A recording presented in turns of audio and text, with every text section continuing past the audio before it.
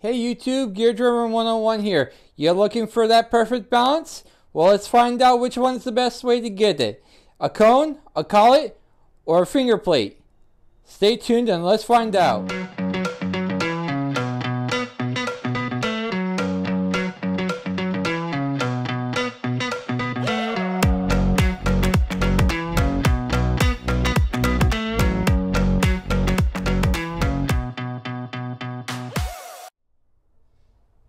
YouTube. So here we got the first part of three where we're going to be using a cone as you can see here. This is the proper size cone for the, uh, for the wheel.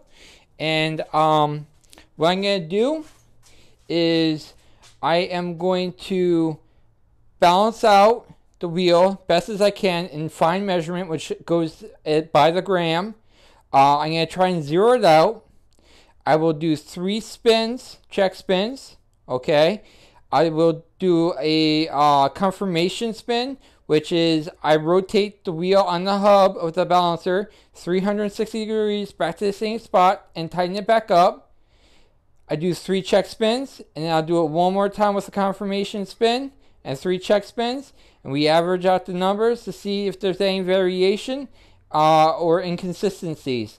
So um, on the balancer, I have right here a mark. And on the wheel, I have another mark. So each time I do the rotation of the tire for the confirmation spin, I will match up those marks. So uh, I'm going to get the wheel on. I'm going to set it up and we'll get started.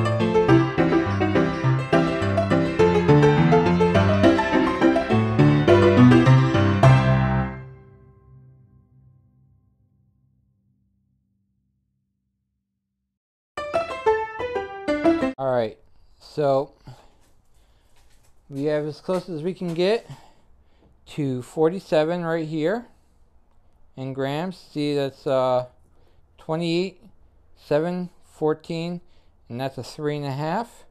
Okay, and then I have a 28 and another three and a half. So I'm gonna put those on the wheel, and we are gonna try and get as close to zero as possible.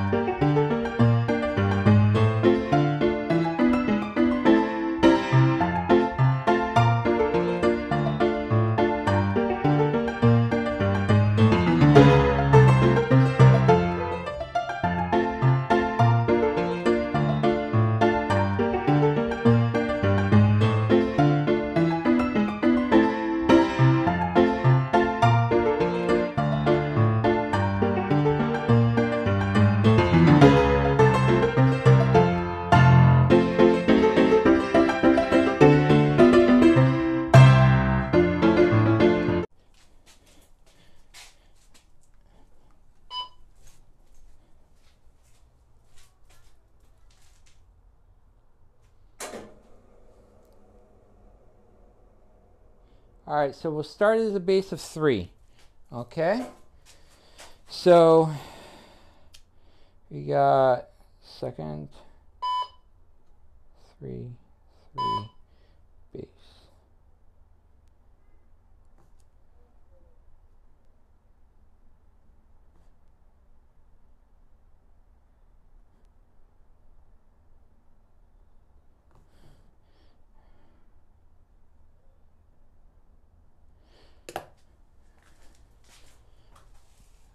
right, so what we're going to do is we're going to do our three check spins. Okay. This is one.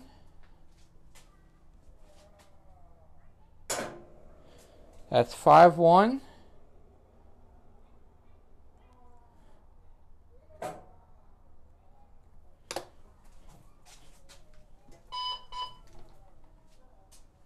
This is 2.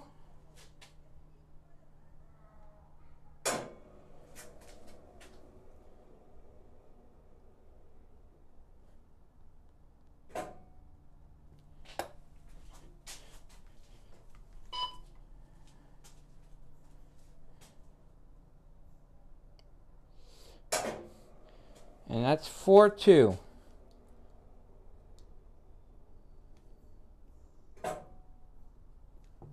Okay, as you can see on the paper, let's zoom in there.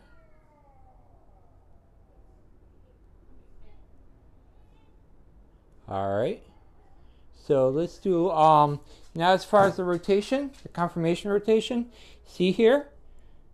That's marked right there. All right, so let's do the 360 degree rotation. And then we'll do three more check spins. So we're going to loosen it up.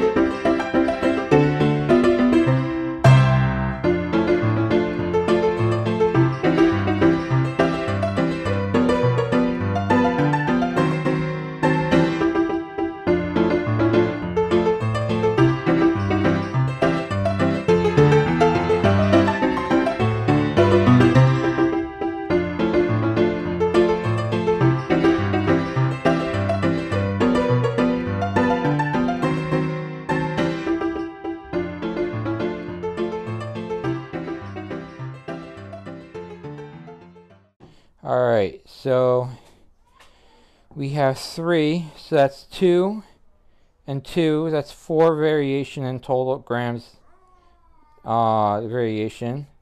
That's three that's on, that's one. Four is one, two is, so it's two. So that's five, seven, seven um, grams total.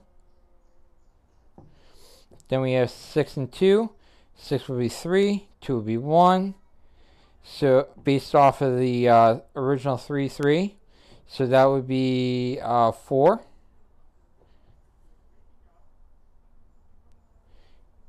And then 6 and 4 would be, again, 4. And that would be 4. 4, 8, 12. And then we have 7 is uh, 4 and 1, so that's 5. Then 7 and 4 is 5, and then that's 4.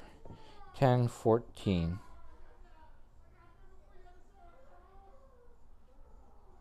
Uh, Uh, yep, that's 14. So, let's see here. If we take those all of them together, it's 26, 31 grams. Divide that by 3 checks, uh, check rotations. So that means in total, there is a variation of about 10 grams. Okay. Um, so that's significant. A quarter ounce is 7 grams. So anyway, um, I hope you enjoyed this. Okay. Uh, again, this is one of three. And I am going to make the second video with the collets. Alright, thank you and have a great day. And please subscribe and like.